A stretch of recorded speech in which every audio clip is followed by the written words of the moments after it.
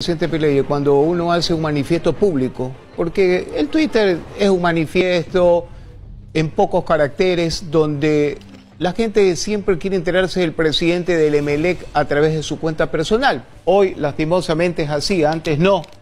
O, de manera generosa, es así. Pero esos no son los términos para un hombre educado que dio la universidad.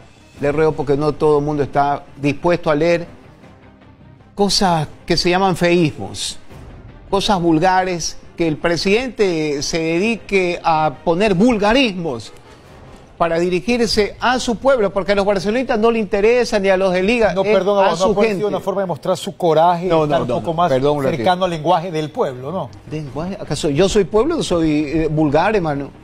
Yo soy pueblo o soy vulgar. Usted me ha escuchado una mala palabra que yo digo al aire en mi carrera, nunca he dicho malas palabras.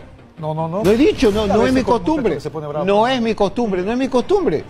Pero el presidente Belén no puede tener eso de M, M. Todo el mundo en este país se piensa que el que insulta más y el que grita más tiene la razón. Los insultos, señor presidente, son los insultos de quien no tiene la razón.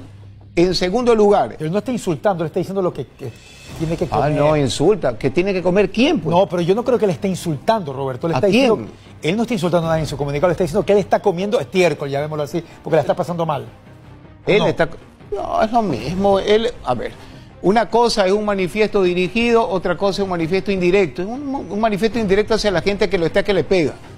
Eh, señor Pile, cuando uno hace un manifiesto así de ser de una línea, porque una línea es un título, una línea es un título y una línea te relata la historia en una línea, por eso el titular es tan importante. Pongamos que sea un titular este de su enojo.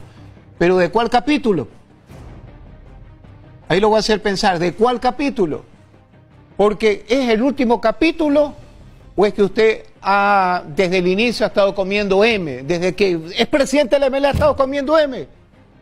Cuando eligió a los jugadores está comiendo M, cuando dirigió al cuerpo técnico está cogiendo M, cuando se le fueron los directivos que lo acompañaron está cogiendo, comiendo M, o es el último capítulo. Tiene que señalizar, con todo respeto se lo digo, porque no se puede generalizar. Usted va para los 10 meses de administración.